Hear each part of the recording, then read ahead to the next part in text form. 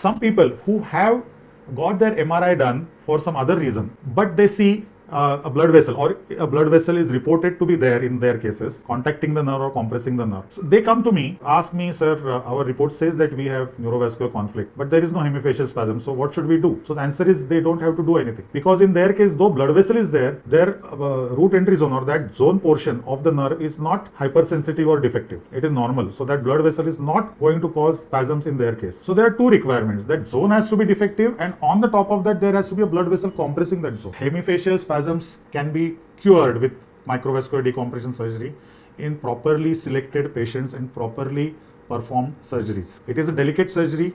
It is done in most awkward location and it needs help of uh, neuromicroscope and neuroendoscope. This is in short about uh, what causes hemifacial spasm. So it is not only the presence of blood vessel. That blood ha- vessel has to be elongated and pressing and sometimes really distorting the nerve and that nerve has to be at the same time in that particular patient defective in that zone or hypersensitive.